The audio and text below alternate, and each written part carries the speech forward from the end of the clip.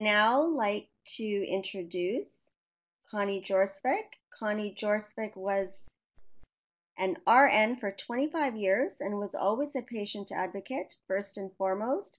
She found patient pathways and has been acting as an independent healthcare navigator for almost eight years.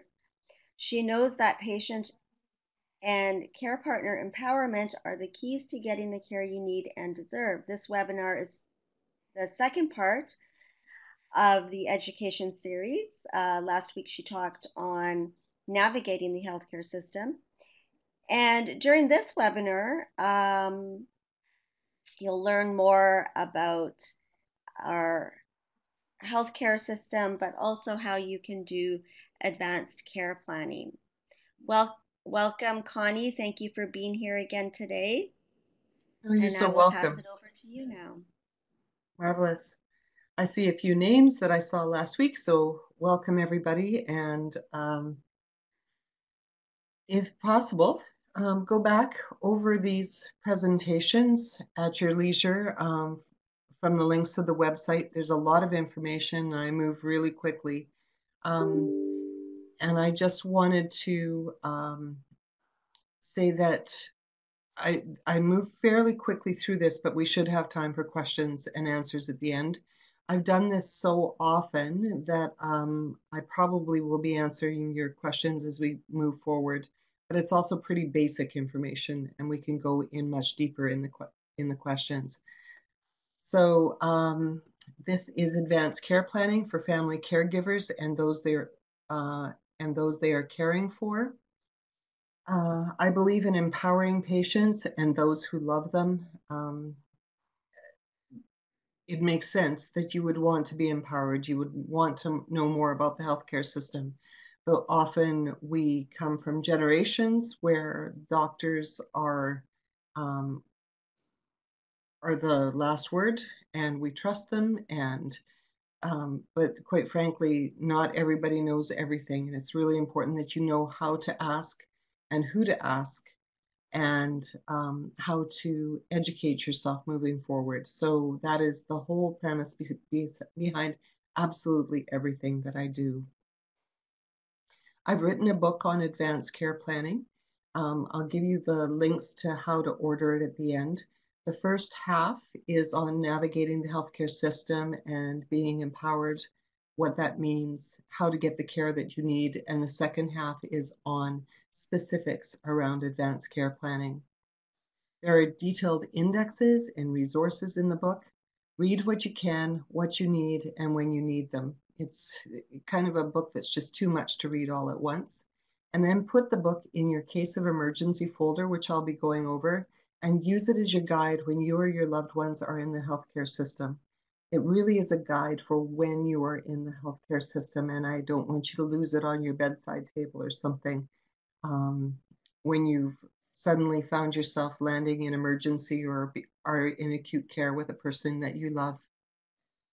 So serious and complex illness and injury and life-ending diagnosis can do can and do happen to anyone of any age. Over the age of 60, it's usually complex chronic conditions that um, eventually take our lives.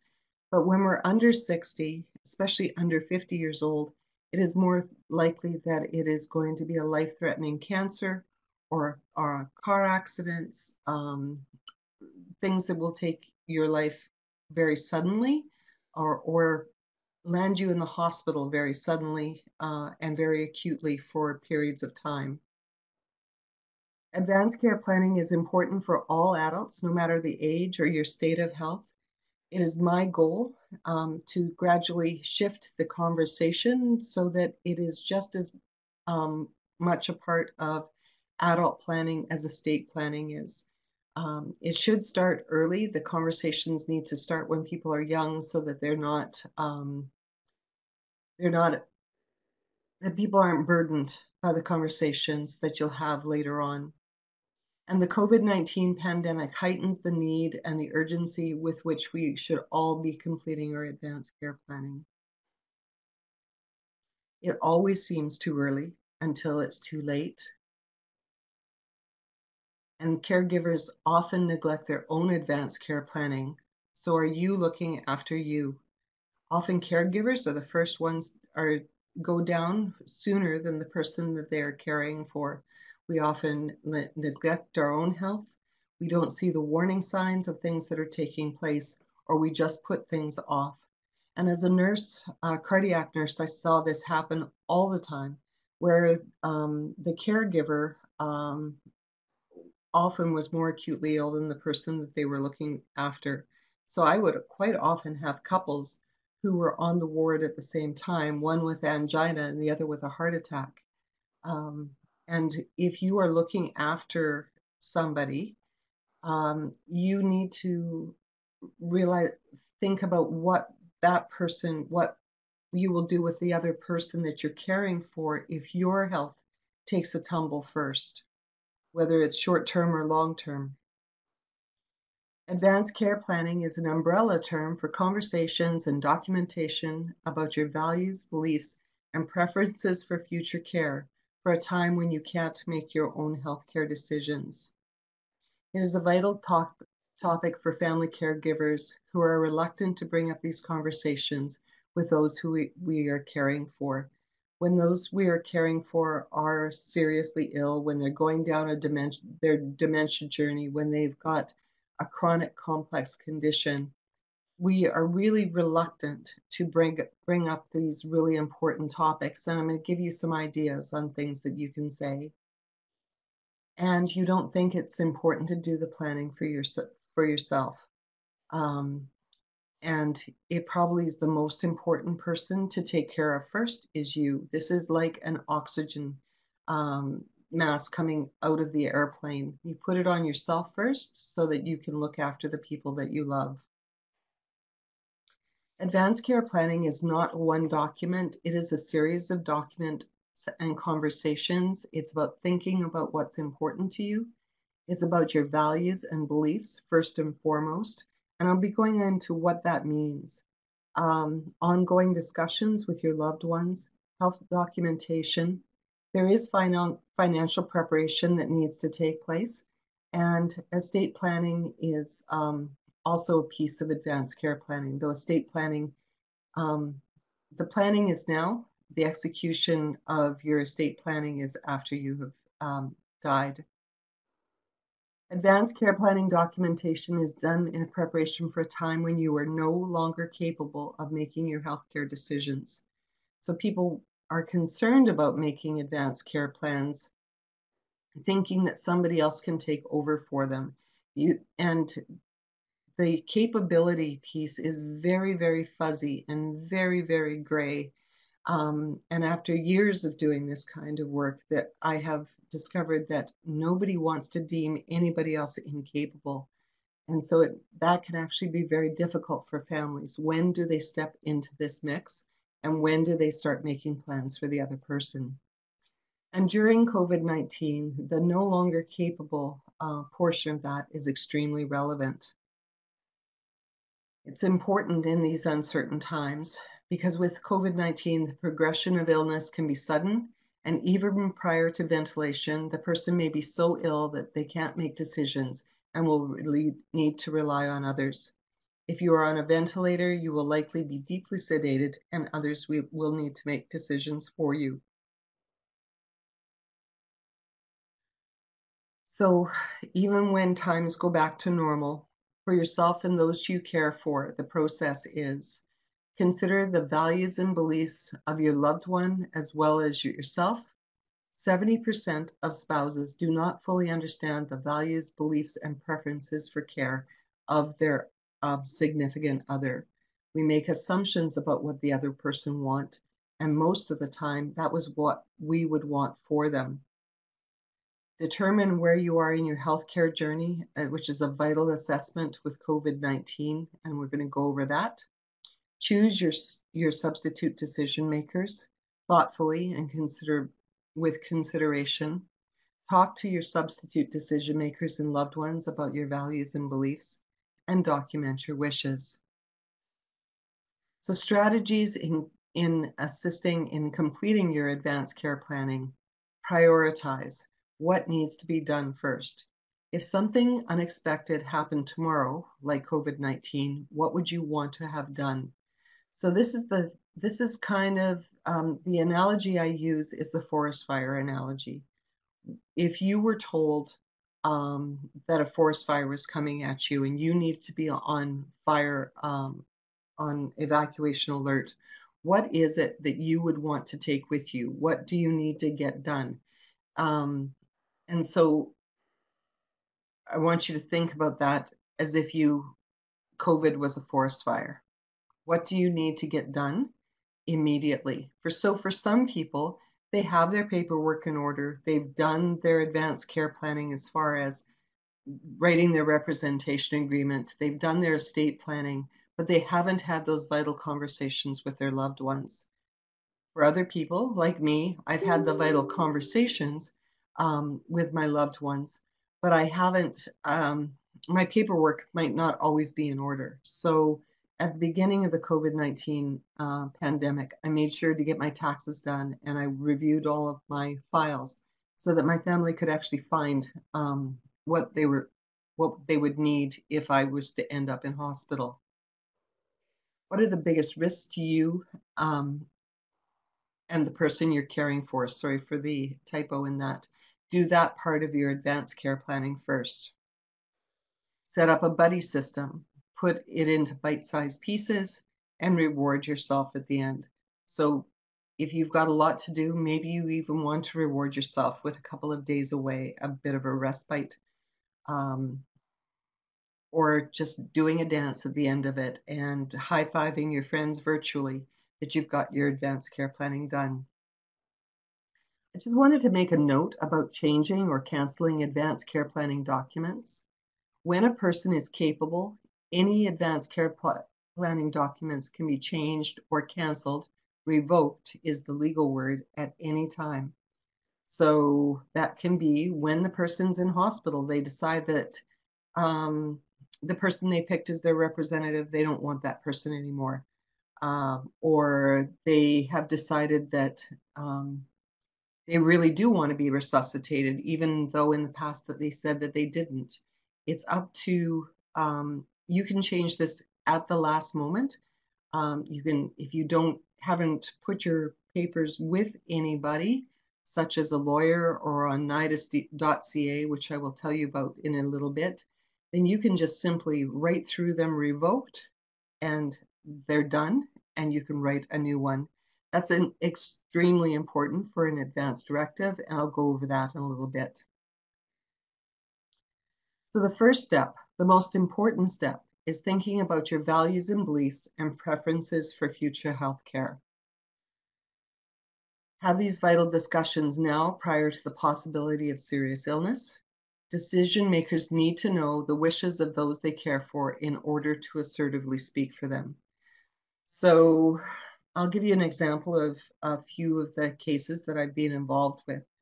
Um, so a patient has um, rapidly rapidly deteriorated and is now on a ventilator, and the doctors are asking the family whether he would want to have wanted a tube feed um, put in for temporary nutrition, and it's actually a really big decision to make that to make that decision. You need a lot of information and the number of times that the patient hasn't had a discussion with their family ever in their lives about the kinds of things that they would want. A lot of us will say, we don't want heroics. What exactly does that mean? And I'm going to go over some of those things now. In this webinar, our, our focus on values and beliefs is a short exercise focused on a time of crisis. So, for your values and beliefs, what makes life worth living? What can or cannot be sac- sacrificed or compromised? What needs to be completed before your death? And consider any special faith based rituals or, cult- or cultural preferences that you might want at the end of your life. So, I had a client a couple of years ago who was going in for surgery, and he had a 50 50 chance um, literally of his life would be immediately better and he would walk out of the hospital the next day, or he had a very high chance of um, not making it off the operating room table. So, what he put into his very short little uh, wishes for future healthcare is three simple sentences. If I can't walk out of this hospital on my own, if I cannot be in my garden, if I cannot hold my grandchildren on my lap, then I do not want to live. So, those are very um, distinct values and beliefs, so things that were really important to him. So we don't need to get into a huge amount of depth when we're writing an advance directive. We just need to say what's important to us. And at, over the next, he did not do well. And over the next couple of days, I was with his family, and they used those three sentences and took them very much to heart. And his, as his condition continued to deteriorate, they were able to pull back to those three and it was very obvious that he was never going to walk out of the hospital. And so they withdrew heroics and he died a short time later. And they, their grief was much less complex because he had given them that instruction before his death. What do you or your loved ones value? So, could it be food? Do you want to have a celebration of uh, family and food?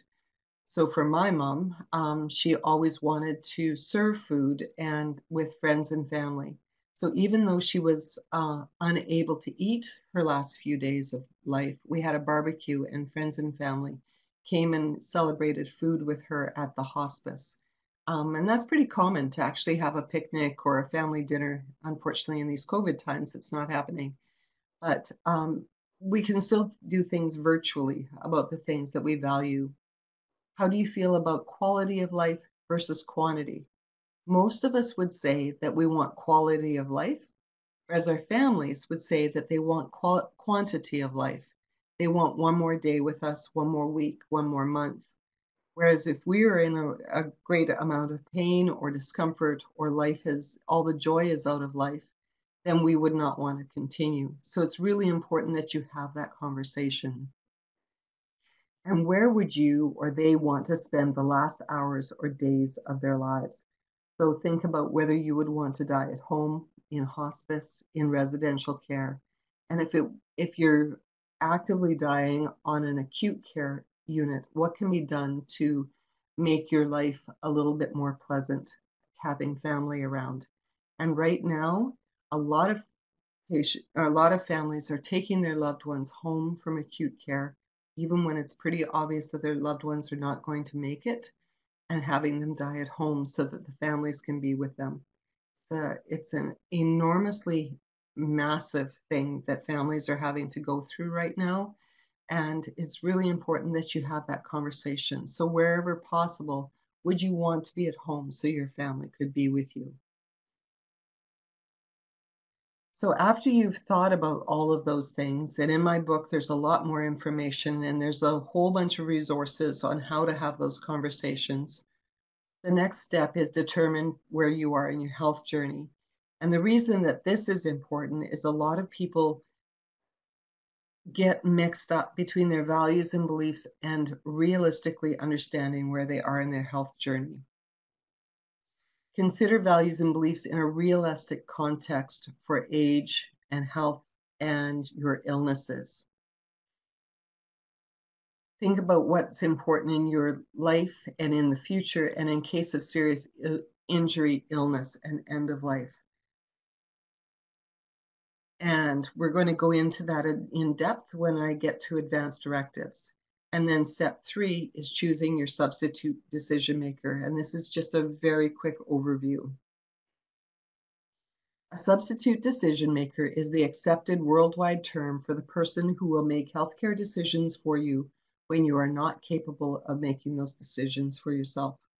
So, in most couples and most families, we assume that the substitute decision maker will be our spouse or be one of our adult children it wherever possible, even if you're not going to name this person in a representation agreement, which I highly um, ask that you do, um, and that at least you put it in a letter.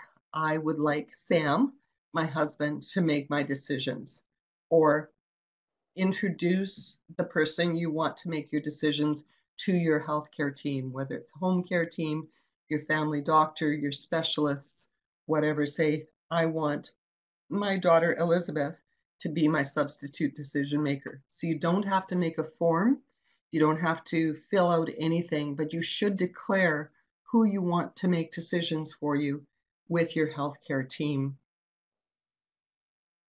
If your loved one is not able to make decisions on on your I was trying to make this this uh, presentation so it was for caregivers and I've mucked up some of my words. So if your loved one is not able to make decisions on their own and have not assigned a substitute decision maker, a temporary substitute decision maker will be authorized to make decisions for them. So um, quite often, if somebody has not designated somebody, they haven't said that they want their husband or their wife or their adult children as their substitute decision maker, and they end up in hospital by themselves, then the social worker in particular will be the person who goes through the list of people to find that person a person to make decisions for you. So under the hierarchy, um, it starts with spouse and adult children, and then they go down the list. However, this is not always the person who is looking after them at home. If they want you to speak for them, strongly consider a representation agreement. So I often find that um, one adult child is looking after uh, their parent, but the person who um, has decided they will be the decision maker is not living with that with the parent. Um, so families have divided roles up. You know, I'm going to work with, I'm going to take care of mom or dad, but if decisions need need to be made, then it should be you who makes the decisions. And when that kind of thing starts to happen, it gets really, really mucky for the healthcare um, teams. So this is the list of temporary substitute decision makers that the hospital will look at, and it can get very messy. The spouse, and what if the spouse is also going down their the same dementia road as their loved one and they can't remember everything that's going on, or they're overwhelmed, or they're scared, the hospital's staff will still continue to look to that spouse to be the number one person on their list. And I've seen where they will not talk to the adult children because the spouse is able to take that information. The adult children are all um, equally uh, ranked. So if there are two or three or four or five children, adult children, they are expected to make decisions together. They can assign um, a person to be the spokesperson, but that can get messy. Um, parents are equally ranked, siblings are equally ranked, and so on down the list. So you can imagine that if there are if there are parents for an adult um, uh, patient, and those parents are divorced or separated or are not speaking well, to try and have um, a clear conversation about what will happen with the healthcare with their of their adult child can be very problematic. All of this is often why um, the ethics committee of a hospital are involved.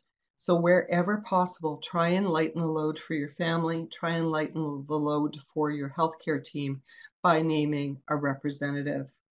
In British Columbia, a substitute decision maker is formally and legally named on a representation agreement. We are the only province in Canada that has a representation agreement. Other in other provinces, they are uh, named on the advance directive or the document that is similar to an advance directive. Um, the piece that I want to point out uh, about representation agreements is that if memory issues are becoming apparent, it is imperative to make decisions regarding representation and enduring power of attorney document, documentation as soon as possible. Things don't get better with dementia, they only get worse. We look for a moment in time where we can have these conversations. Um, often the person with dementia is um, starts to become very um, uh, secretive about their their memory issues. They get very um, uh, they double down or maybe a little bit paranoid. Uh, I see a lot of paranoia with patients who have dementia as it progresses, and then they don't want to name anybody. So it's really, really vital that the earlier the conversations take place with somebody with dementia and have somebody assigned as their representative, the better. A few things to consider when choosing a representative. You can't be paid to care for them unless you're a spouse or an adult child. So um, usually this is set up by a lawyer so that uh, an adult child or a spouse can be paid um, to take time off of work to care for the adult. But they're trying to avoid any issues of uh, paid caregiver, caregivers coming in and um, maybe not caring for the person the way that they should. Uh, this is especially relevant for money, maybe not so much for care. They must be a mentally capable adult. They must be readily available, even by phone, and this has been a huge good shift during the COVID uh, crisis is that doctors are now getting paid to have consultations by phone. And so they're much more, um, they'd be much more reliable about making phone calls to uh, loved ones. And it doesn't really matter where they are in the world. It, legally, it doesn't matter. Uh, financially, it does. They can't be across any international border, but representative could be in Los Angeles or New York or in Europe, as long as they can be reached by phone and time, the time changes are not a big issue. If you are readily and willing to take on the role. So this is where spouses are often not the best person. They are exhausted, they are overwhelmed, um, they might be scared, they don't want to take on the big issues but also adult daughters and daughters-in-laws are 80% of the time are picked as representatives, but are they the best person? Can they take time away from their own families? Um, and so you can pick somebody like a neighbor or a friend if all of the people you would normally pick are unavailable, too far away, or are not able to take on the role. They will take, they will respect your religious and spiritual beliefs. And this is really important, especially if somebody has requested medical assistance in dying um, and the, the person they've picked does not believe in it. That can be a really um, big issue. So I'm just pointing that out as an example. And they will carry out your wishes even if they are different from your own. So the closer the family member is, the more they don't believe in what you believe, the more friction um, that can cause. You might want to pick somebody a little bit more neutral who will get um, give you the care that you want to receive. The representative is often a close relative, but they can also be a close neighbor or friend. So I had a client named um, Matthew, and he was uh, he had never been married. He was 86 years old. He knew that he needed to go into long-term care. He was having a lot of health issues both his niece and his nephew lived quite a ways away, but his next door neighbor, Mary, had been close to him for years. So he picked Mary as his representative, and then she was in close contact with the niece and the nephew, and they made decisions together. But ultimately, Mary had the final say if decisions about his housing and home care needed to be made. And then it's important to talk with your representative and loved ones. Share your values, beliefs, and preferences for future healthcare. And don't make the assumption that they, they will know what you want. So who can prepare a representation agreement? A lawyer is not required, but considering consider seeking legal counsel for any complex situations. Um, so if you, the nidus.ca, which I've put down here, have, as far as I'm concerned, the easiest, most easily understood representation agreements available. And you can do it for free there. They allow one person to be the representative and another person as the alternate if the representative isn't there. Sometimes there is the need to have two people to make decisions, um, such as a wife and a daughter, and they can make decisions by themselves or um, together if the other person, you know, by themselves if the other person is, isn't available. So you need to go to a lawyer for something complex like that. The Nidus agreement doesn't um, have the ability to have anything complex. It doesn't have the ability for any um, additional instructions for your representatives that you might want to have in your representation agreement. There are forms on the Government of BC website. I have found them to be um, difficult to navigate. They are not clear. They keep on saying that they're going to change them, but I haven't seen that yet. There are also forms on the guard, Public Guardian and Trustee website. So for a fee, lawyers specialized in elder law or estate law. Please make sure that you go to a lawyer who's got a lot of experience regarding elder law or estate law. Um, you don't want a tax lawyer doing this. Um, ironically, real estate lawyers and estate lawyers um, they both often have both specialties. If you're going to go to a lawyer to draw, draw up your documents, they often put all the advanced care planning documents, such as the representation agreement, the enduring power of attorney, and possibly your advance directive in one document. I ask that you ask to have them all separated into separate documents. This is especially important for the representation agreement and the advance directive because in a high in a time of healthcare crisis, physicians will not take the time to read through a 20-page document to find out who should be speaking for you. And you need to be able to, to update the document as your health and circumstances change. So if one of your represent, representatives moves or it becomes ill themselves or dies, to go to the lawyer and have the entire document changed um, is more financially onerous than just being being able to have one of the documents changed. So there are two types of representation agreements, and this is especially important for this group. A representation agreement 7 um, may be signed by someone who does not meet the traditional definition of capability. So even if somebody has lost the ability to manage their own day-to-day day affairs and to be able to um, uh, even take care of themselves, as long as they can name the person who they want to care for them or make their decisions, they can just say, yes, Mary, and they can even sign with as much as an X that person can look after the financial portion if an enduring power of attorney has not been put in place. And um, it's a it's a great document for people who have lost some ability to manage their own affairs.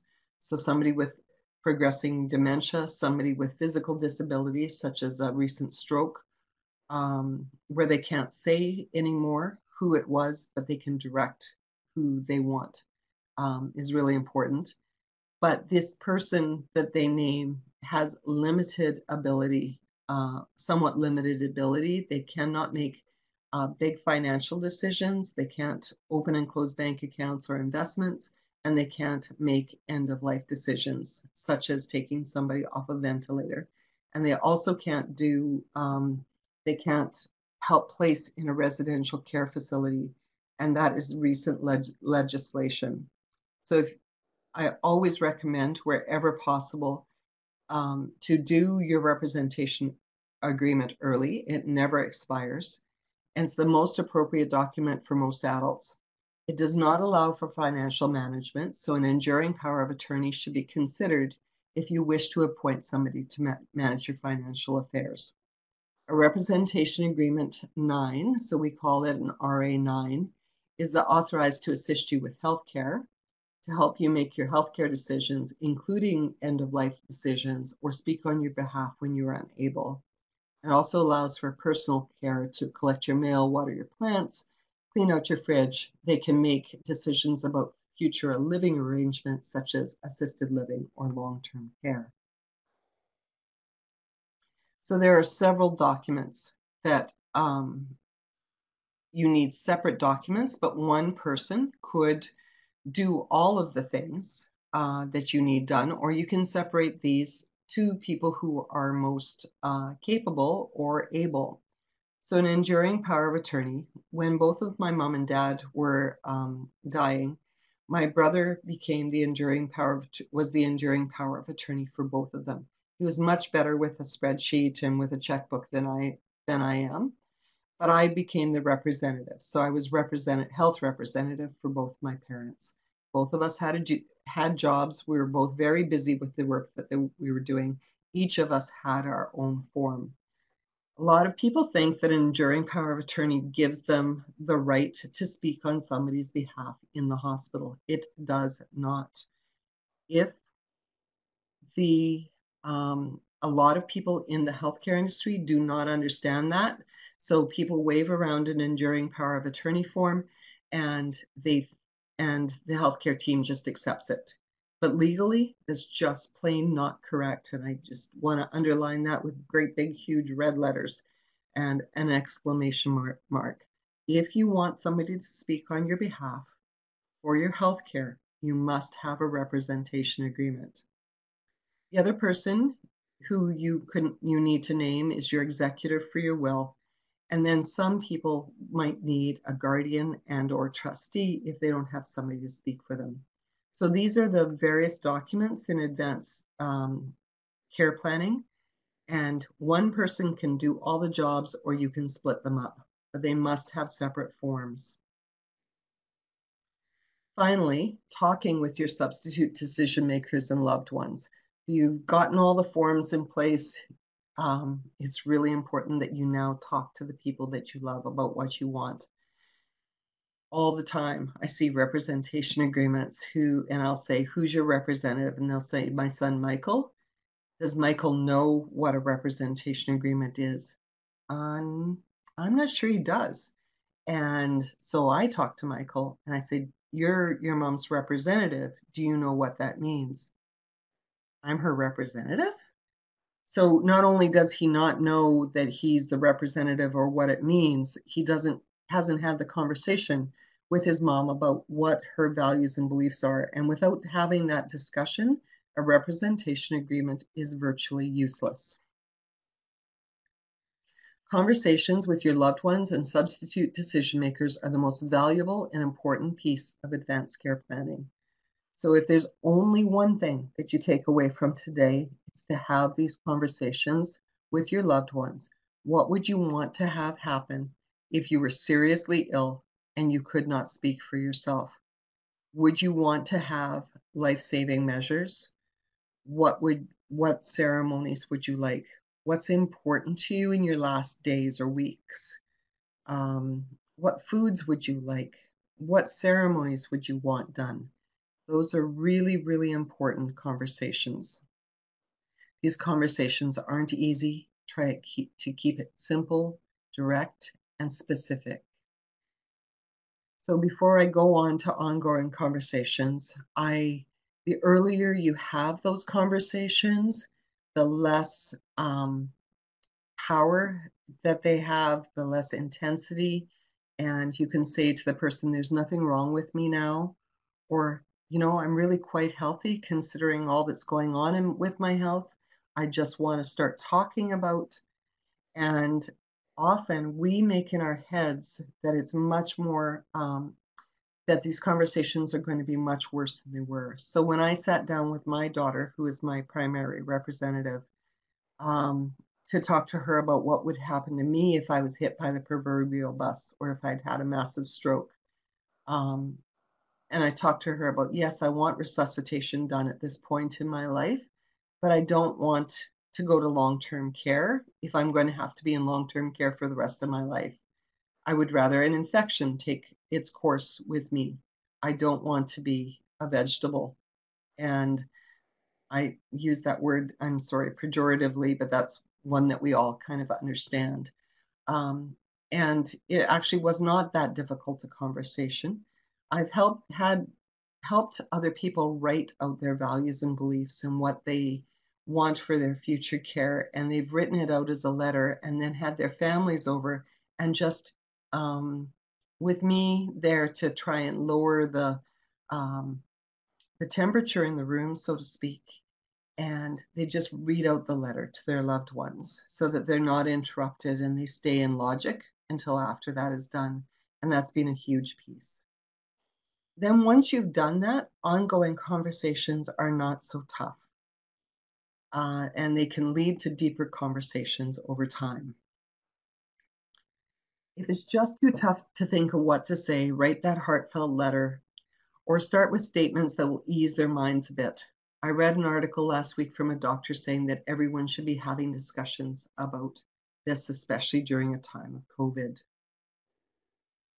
It may be the greatest gift you can give to those you love. If you don't, if you want to reduce the amount of complex grieving that they are going to experience after your death, it's really important that you have these conversations now. And then document your preferences for care.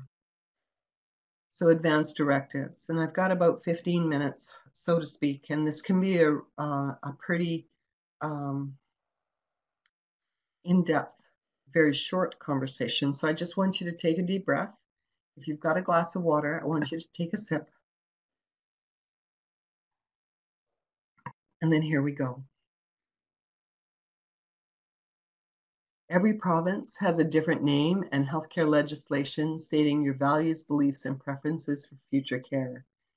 The universally recognized name um, is Advanced Directive.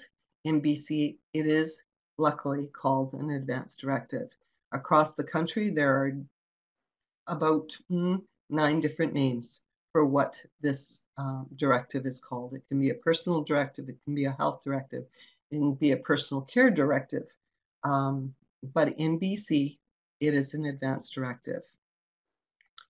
When documents are called something else, such as a living will, a basic advanced care plan, a personal directive, these are basically wishes that you want to have that doctors and nurses will take into consideration at the end of your lives. But it is not a legal document. They are not forced to um, abide by these. So if you want to have something like my client had, which was the three sentences if I cannot leave this hospital, if I can't be in my garden, if I can't hold my grandchildren on my lap, that is considered um, a basic advanced care plan or a personal directive you can just sign it, you can date it and sign it, and it will be taken into consideration.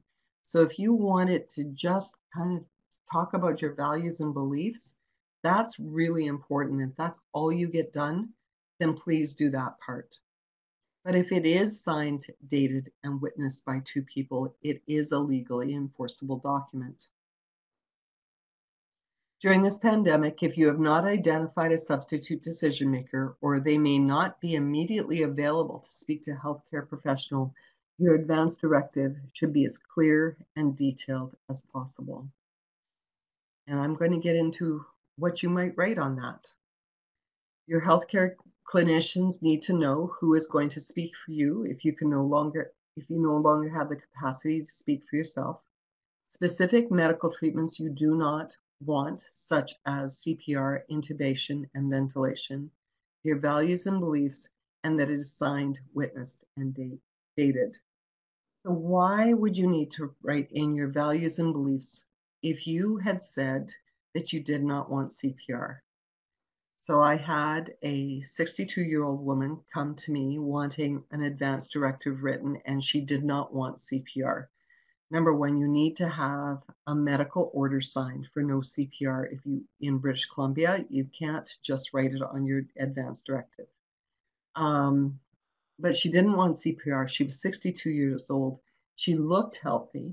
She was articulate. She could speak for herself, but she had a lot of underlying health conditions that were not readily apparent. And she wanted to write down, I have and her health conditions. And I don't want to live in long term care. I don't want anybody to look after me. uh, if I'm not capable of looking after myself, then I, I don't want to live. She needed to put her values and beliefs because as a 62 year old, the healthcare system would go, Well, of course, we're going to do absolutely everything for you. You're only 62 years old. When she put all the other information with it, it was more likely that they would take that into consideration. So representative discussions and decisions take precedence over advanced directives. I'm going to break that down. So in your advanced directive, you let's let's say Susan is um, a name I've just made up, and Susan is um, had has advanced uh, had has advanced dementia. Uh, she's in long-term care, and she only has stated previously that she only wants symptom management and comfort care. Um, but then she has a urinary tract infection, which is causing her to have delirium. Um, she's not enjoying, you know, she she's basically been enjoying her life, but the urinary tract infection is really taking some of the punch out of her life. Um, and the representative can then say, This is not what mom wanted, she would have wanted. She would have wanted something as simple as a urinary tract infection treated, and please give her antibiotics. Or it's very common for somebody to say that they don't want any heroics done, they don't want any advanced medical care, and then they um, they need a blood transfusion, which will give them a much higher quality of life. It allows the representatives to say, yes, I'm overriding that decision, and yes, please give her um, blood transfusion because we're all lay people and we cannot we do not know what's going to happen to us. We don't have a crystal ball. The representation agreement allows that person to make decisions in the time with more information given to them. You might not want to die over the christmas season so you might want extra um, an extra round of antibiotics or a, a fluid bolus so that you um, don't die over the christmas uh, season and or a birthday, or maybe you want to hold your grandchild one more time. The represent your representative can then say, can we just give mom just a little bit more care so that she or treatment so that she can hold that first grandchild. So that's why representation agreements take precedence over advanced directives. But if you want your advanced directive recognized and abided by no matter what, you need to have that written in your in your representation agreement and it needs to be done by a lawyer. Rep representatives are legally obligated to honor your wishes or what they believe you would want if you had been able to speak for yourself. So it's not what they want in their own decisions for you, but what they want for themselves. So who can write an advance directive? You can. If it meets the legal requirements and proper, it is properly witnessed, it is valid. Strongly consider um, discussing the most appropriate level of care with your physicians or nurse practitioner before you write your advance, advance directive. So what I have done is I have based an advance directive uh, template based on where you are in your healthcare journey. Um, and I have based that on the medical orders for scope of treatment. Providence Health calls this options for care. Across the country, they are generally known as goals of care. Um, a note about advanced care planning orders. They are orders signed by a doctor or a nurse practitioner, practitioner usually in hospital, after consulting with your substitute decision maker about the level of resuscitation that you want. Discussions and decisions for your advance directive are made prior to a crisis, like now, but medical orders are usually written during a hospitalization or crisis, and your advance directive and medical orders should work hand in hand. So if you take your advance directive into the hospital and it says that you do not want to be resuscitated, that you do not want to be put on a ventilator, those should be transferred into medical orders to say the same thing. So writing your advance directive, think about the level of care you would want to receive. And when you break it down into these five options, it's easier to make decisions that are appropriate for where you are in your healthcare journey. Um, I've made it from most intensive to least intensive. The focus at each level is where you are in your health journey and on your values and beliefs. Use this as a guide when you talk to your loved ones and representatives and writing your advance directive. So level five is the highest level of care. Perform all resuscitation, including CPR. This is where I have put myself right now. Um, I'm in my mid 60s, but um, I still feel like I could, I have no other underlying conditions, so I would probably survive CPR if somebody was able to start it soon enough. But I would want my health to be reevaluated within a couple of days and see, based on my values and beliefs, whether they should continue to treat me or take me off of life support. Cardiopulmonary resuscitation includes chest compressions, intubation, ventilation, and defibrillation. If your heart is restarted, you will go to ICU and you will likely be on a ventilator. So I've seen advanced directives where people say, only start CPR if it looks like I will make a full recovery. That is absolutely impossible to say.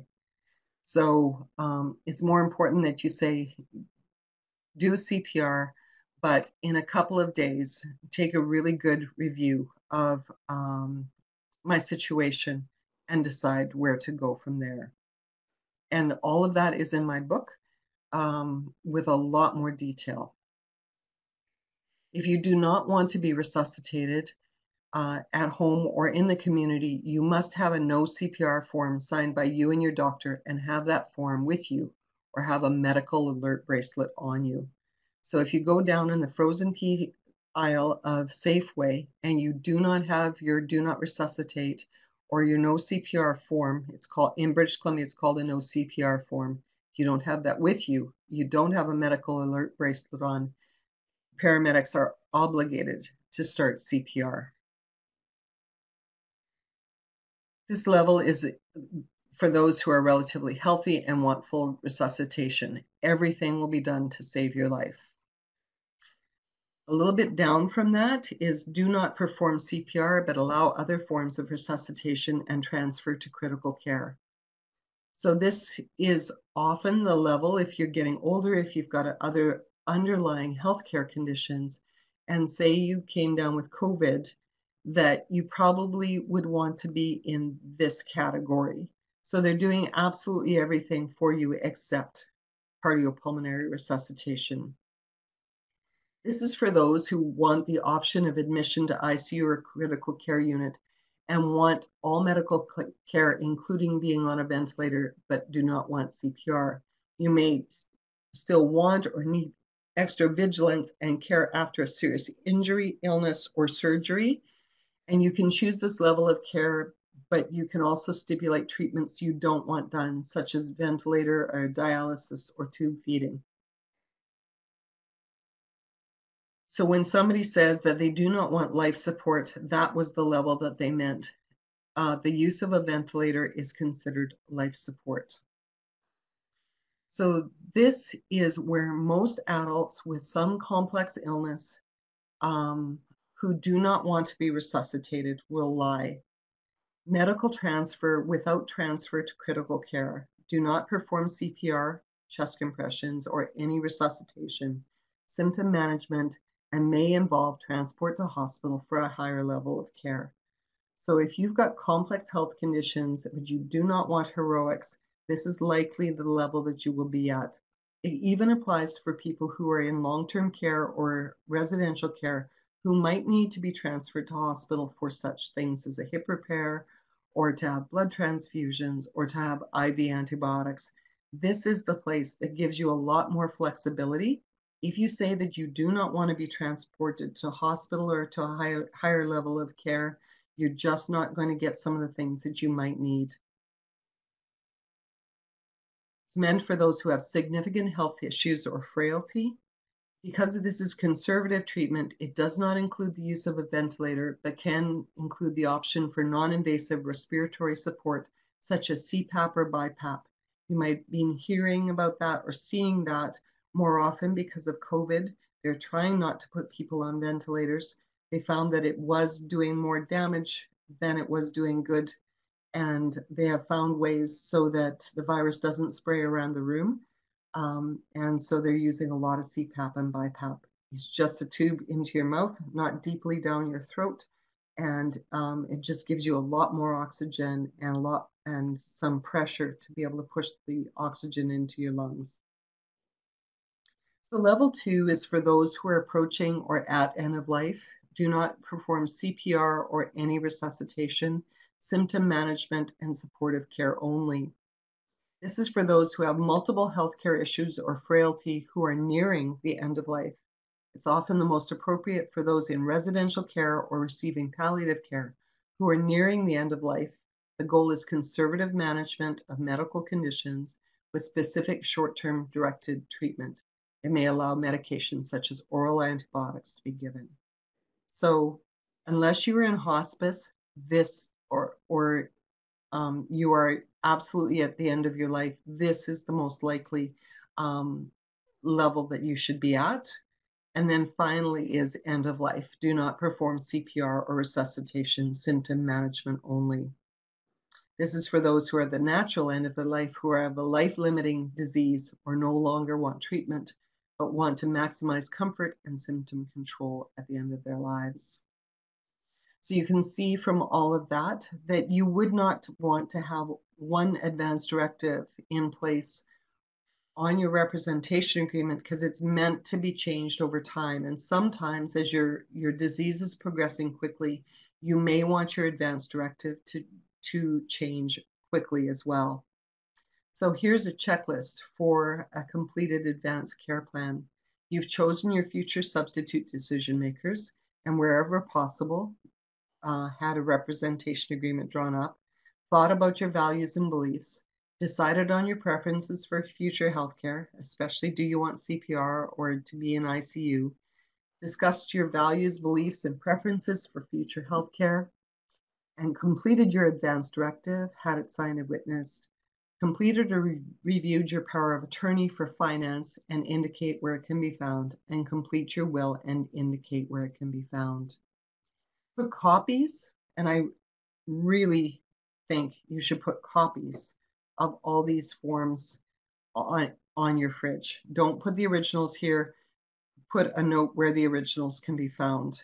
You don't want these forms to become a part of your chart and then you it will be really difficult to get them back. Put copies of relevant documents in a clear folder, binder. In Fraser Health, there's a green sleeve, and place these documents on or beside your fridge, or put a clear note on your fridge indicating where the documents can be found. Give copies of important documents to your substitute decision makers, your enduring power of attorney, and your executor, and let them know what the forms are for.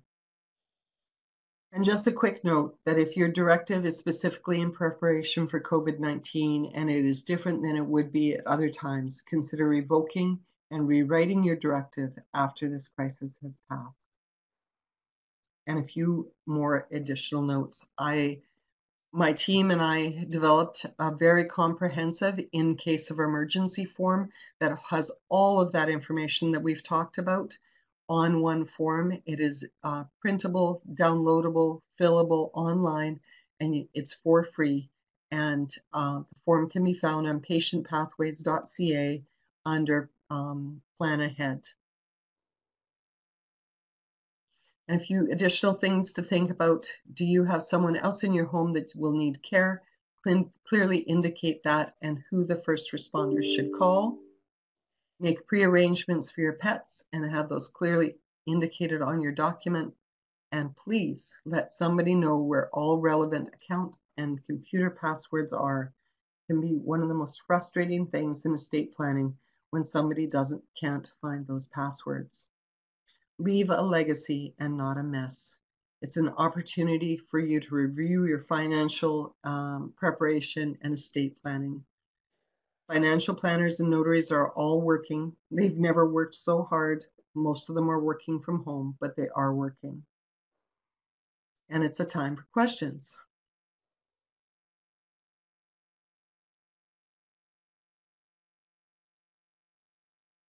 I must have overwhelmed everybody. Oh, somebody's typing, yay.